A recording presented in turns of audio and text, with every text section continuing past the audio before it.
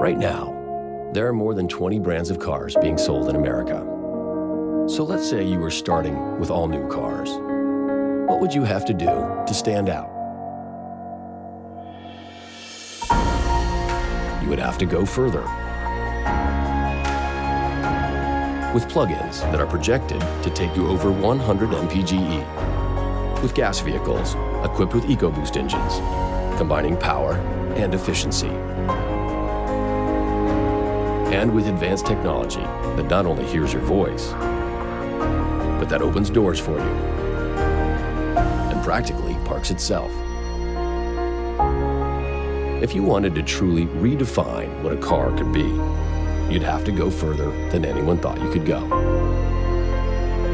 And then you'd go further.